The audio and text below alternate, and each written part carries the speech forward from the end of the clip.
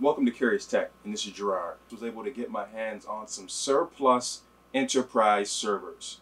So what I'm going to do is walk you through one of the two servers. Um, they're identically spec'd, um, and just show you it physically. What does it look like? Um, what does it look like on the front? What does it look like on the back? Um, what are the specs for the server? And then from there, uh, in future videos, you'll see how I spin this up, particularly uh, to bolster my virtual machine environment here in the lab.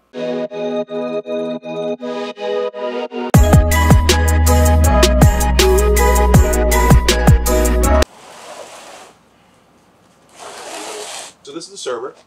It is specced out with fully specced out with drives here. Um, it's got a CD drive here as well, two USBs, serial cable here. Um, the first two drives are regular SATA 120 gig SSDs. So that would be kind of like an OS or, or boot drive you could put in like RAID 1.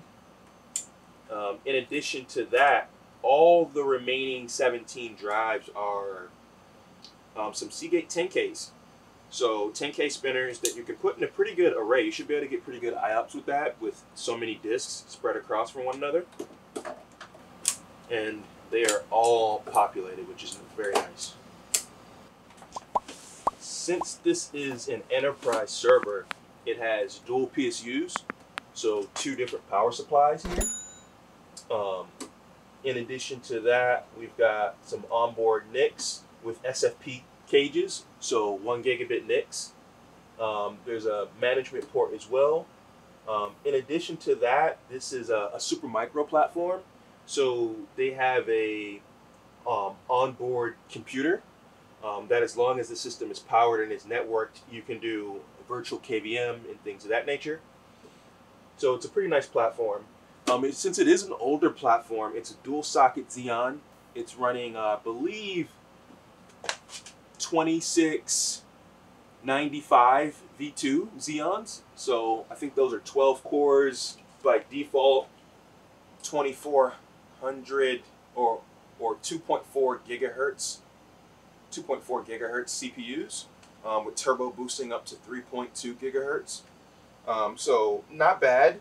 Um, it's it's not a modern CPU, so those are a, a fair bit dated, but plenty beefy for my use cases. Bam, easy. All right.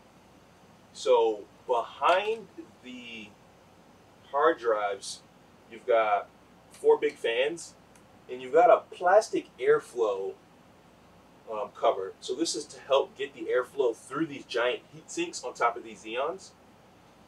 Um, also, this is a big capacitor in here, or big battery. So the other drives, those 14 drives that were 10K spinners, those are SAS drives. What you see is a, a battery pack here, and this battery pack actually connects up to the SAS controller. Um, and so you have the ability to do hardware RAID right here on the platform, or to turn this into essentially JBOD or just just a bunch of disks and pass all of those drives up to the operating system. Um, right now it's configured for 256 gigs of memory, so 128 gigs per CPU. This is the Intel Xeon processor E2695V2. Um, it's 12 cores, 24 threads, uh, 30 megs of cache. It's not the fastest processor uh, with 2.4 gigahertz, so its single core CPU is not very fast even for its time. Uh, you know, and beyond that, you know, comparing the current day processors, its single core performance is pretty slow. However, that kind of density gives a lot of capacity. So this is the Supermicro board that we that we were looking at. Uh, it has a riser card that sits in on that left side. So that's that long riser cord that exposes four PCI Express slots. That's what the RAID controller is plugged into. The, the board also has a bunch of I/O on it, so it has um, onboard the IPMI that I was mentioning, but it also has onboard serial ATA and SAS ports. Uh, earlier, I mentioned um, four one gig ports, one with SFP cages and one with uh, RJ45, but it's actually 10 gig ports, uh, which is really nice. Uh, I'm gonna have since I have two of these boxes, I'm gonna have a direct attached 10 gig network between the two, which is pretty cool. Um, and that's about it. Pretty cool platform, lots of disk drives, plenty you can do with it. If you like what you saw here today, please hit the like and subscribe button and stay tuned for more content.